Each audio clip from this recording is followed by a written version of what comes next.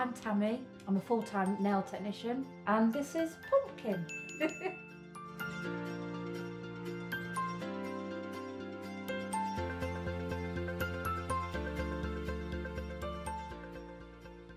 I've always been an animal lover and I followed a local rescue charity here in Lincoln. They then got an emergency case. I got the phone call and got asked if we would foster Pumpkin. She's an, a breeder's dog, so she came from a breeder. The rescue was just told that she had leg issues. It was quite obvious that it wasn't just leg problems that she had.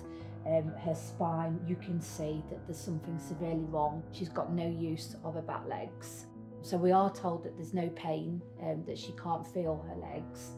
Um, but she does regularly have um, spasms, although she doesn't quite realise that her legs belong to her. She tries to attack them and chew them, which isn't nice to watch.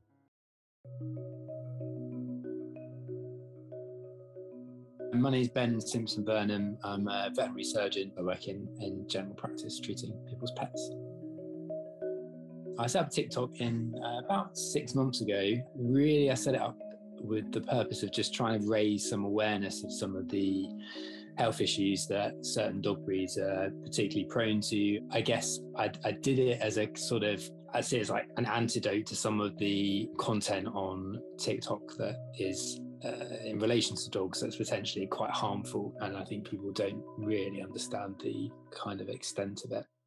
At the moment, she needs intensive um, hydrotherapy and physiotherapy. It will be about five hours a week. So within the six weeks, she's actually already been to the vet four times because she's suffering with uh, UTIs, and that's because she's incontinent, so she can't actually empty her own bladder.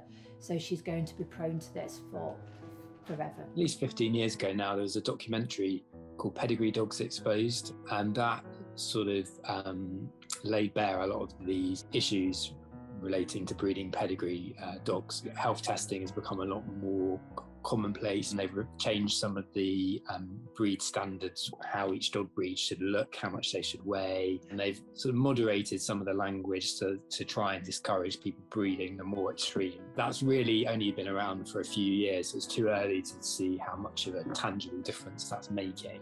Really, the Kennel Club registered dogs are the minority of um, of dogs. So it's all the other um, non Kennel Club registered dogs as well that aren't, there's no sort of um, oversight of.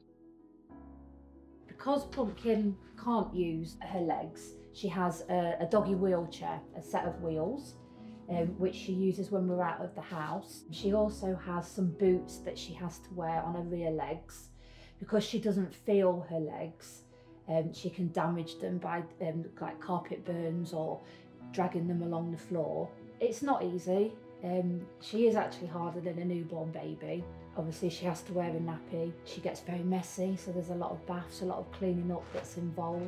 She can't be left on her own. It's it is really really hard, um, but obviously she's worth it.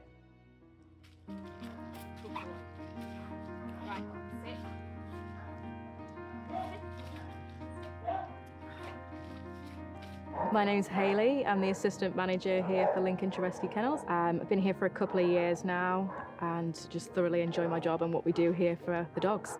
As soon as I met Pumpkin, we fell in love with her. Um, the rescue were, they've got 29 other dogs in their care and they just didn't have the money. And I didn't want her to wait. I wanted to to get her seen as soon as possible. I set up a GoFundMe page. Just thought that Lincoln people would donate and I would raise, you know, a few hundred pounds. And we didn't. We raised eight thousand, well, nearly eight thousand pounds. And I managed to get her an appointment with one of the best veterinary surgeons in the world.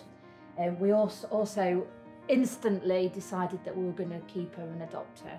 Because how can you not? Um, when we get dogs that have got a few issues or even just one or two issues, people tend to overlook them. They don't see the benefits of having a rescue dog that is just there to give you all the love and attention. Nice.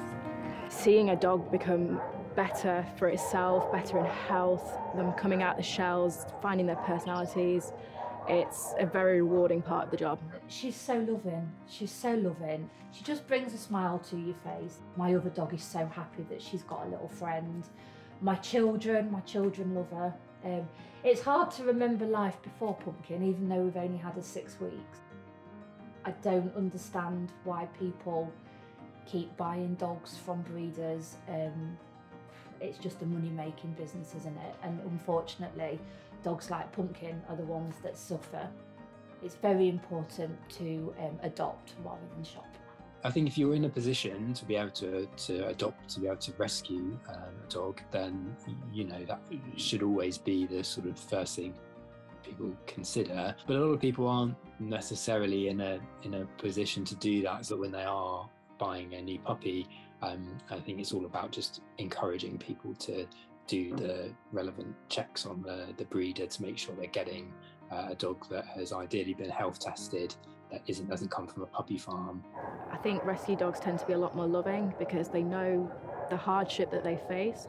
So once they find that loving home, they, they give it all they've got.